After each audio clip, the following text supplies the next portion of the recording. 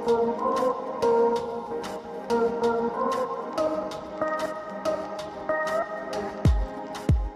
guys, Rexel here and welcome to the channel. So last week Apple released iOS 14 to the public and the most notable upgrade was the inclusion of widgets. Now Apple's stock widgets are only limited to display information of a specific app, but you can't customize the color or for example the photo widget you can't display a specific photo or a specific album. And because of that, I'm sharing to you these 8 apps that you can download and use instead of the stock app widgets. So our first widget is called the memo widget. And you can also change the background of your widgets. We have stock photos here. We have colored backgrounds and gradient backgrounds. And we also have pattern backgrounds. So you can write anything on your memo app. It could be a reminder or a list of things to buy. So the widgets have three sizes and there's two extra widgets where you can add a new memo directly from the widget itself. So that's it. That's the memo widget. Color widgets. Now color widgets is one of the most compact widget that I have seen so far. So it's a widget that will display time, date, and the battery status.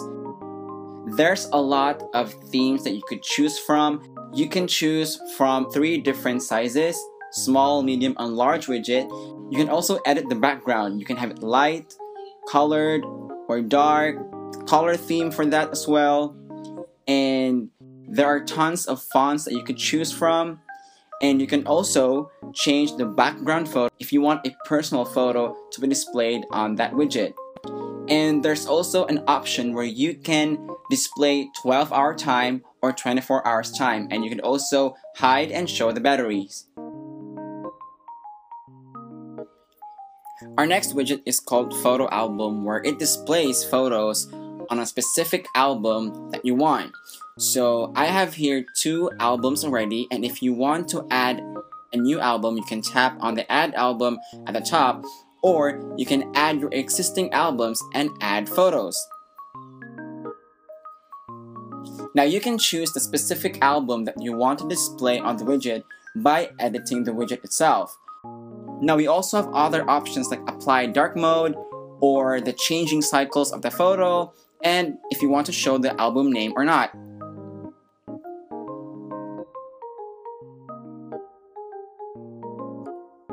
World Clock Now World Clock is one of the most beautiful and minimalist clock widgets I have seen so far.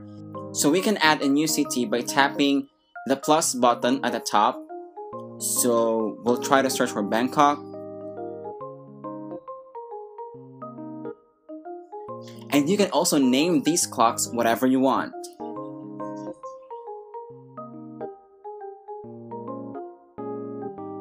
You also have options for clock type, such as analog or digital, and the date formats and an option for a 24 hour time. So you have a lot of option for widget sizes.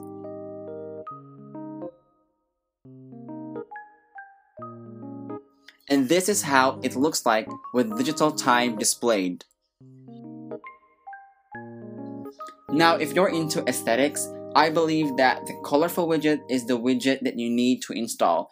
As of now, they have five themes available and I hope that in the next few weeks they would install more themes because they are all looking gorgeous. Now you can also edit the themes, but you can't do much if you are not subscribed to the pro features. So to come up with a theme, you have to add the widget one by one, from the time, the quote of the day, and the photo widget. And that is Colorful Widget. Now our next app is called Widget Smith. Now we have options here on what to display on our widget. It could either be time, date, and custom like photos, or a blank widget, or a text widget, a battery widget, a calendar, and so much more. You can also edit fonts, tint color, background color, and border color. Our next app is called Ermine. Now Ermine is a calendar widget app Now we can go to settings and change the widget color. You have tons of options here as well.